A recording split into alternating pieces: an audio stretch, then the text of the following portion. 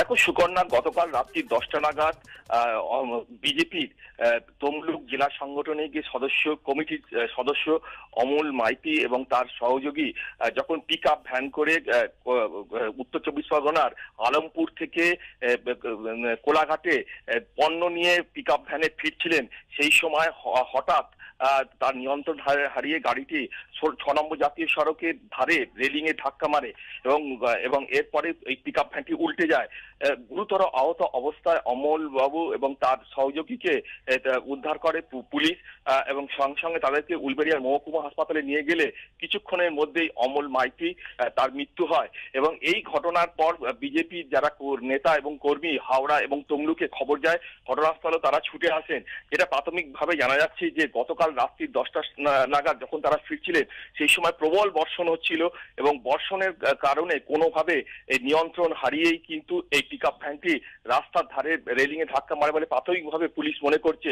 এই ঘটনার পরই তারা বিজেপির কর্মীরা ছুটে আসে এবং তার পরিবারের লোককেও খবর দেওয়া হয় এই দুর্ঘটনাটি ঘটে এবং গোটা ঘটনাটা উলবেড়ে থানার পুলিশ তদন্ত করে দেখছে।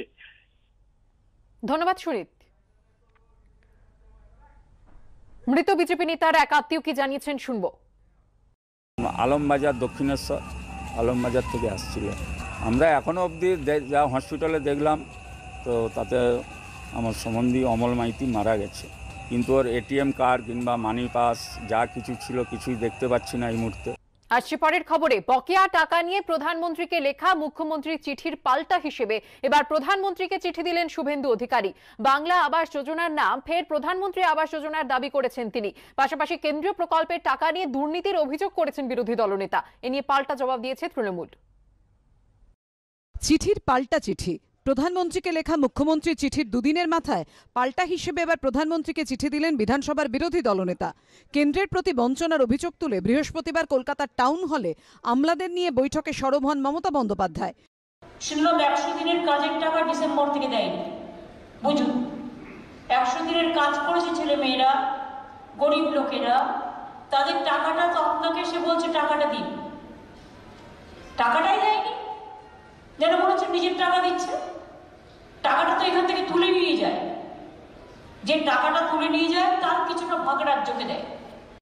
সেদিনই বকেয়া মেটানোর দাবি জানিয়ে প্রধানমন্ত্রী নরেন্দ্র মোদীকে চিঠি লেখেন মুখ্যমন্ত্রী।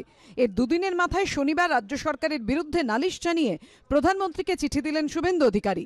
মোদীকে লেখা তিন পাতা চিঠিতে তিনি লিখেছেন, মুখ্যমন্ত্রী স্বীকার করেছেন প্রধানমন্ত্রী আবাস যোজনায় বত্রিশ লাখ বাড়ি হয়েছে। অথচ প্রধানমন্ত্রী আবাস যোজনার আওতায় টাকা দেওয়ার পরেও কেন্দ্রীয় সরকারের জন্য একটিও প্রশংসাসূচক শব্দ দেখা যায়নি। তার উপর কেন্দ্রের প্রকল্পের নাম বদলে বাংলা আবাস যোজনা করে দিয়েছে। এই পরিস্থিতিতে তিনি দাবি করেছেন, বাংলা আবাস যোজনার নাম অবিলম্বে ফের প্রধানমন্ত্রী আবাস যোজনা হোক।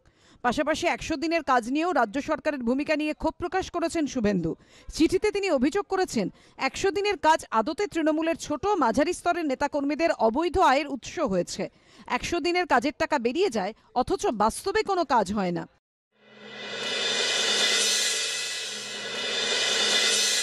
বিরোধী দলনেতা বাংলার কথা বাংলার কথা বলা হচ্ছে, কোনো বিশেষ ব্যক্তির কথা বলা হচ্ছে না, কোনো বিশেষ চেয়ারের নাম করা হচ্ছে না। বাংলাটাও কি তার পছন্দ নয় তাহলে? বাংলার নাম থাকলে যারা অস্বস্তি বোধ করে আর এই ধরনের প্রধানমন্ত্রীকে চিঠি দেয়, তারা রাজনৈতিকভাবে বিচ্ছিন্ন হয়ে গেছে তো মানুষের সাথে। মানুষের কাছে তারা নেই। যে টাকা আগে আমাদের কেন্দ্র সরকার পাঠিয়েছে এখানকার সরকারকে। সেই টাকাই বিলি বন্টন হচ্ছে না। হাজার হাজার বাড়ির জন্য টাকা পাঠিয়েছে। বাড়ি কেন হচ্ছে না? কেন পাকা বাড়ি হচ্ছে না? তাদের নাম তো টাকা এসছে। সব মিলিয়ে এবার প্রধানমন্ত্রীকে লেখা চিঠি নিয়ে সরগরম রাজ্য রাজনীতি। অনির্বাণ বিশ্বাস ও সৌমিত্র রায়ের রিপোর্ট, এবিপি আনন্দ, কলকাতা।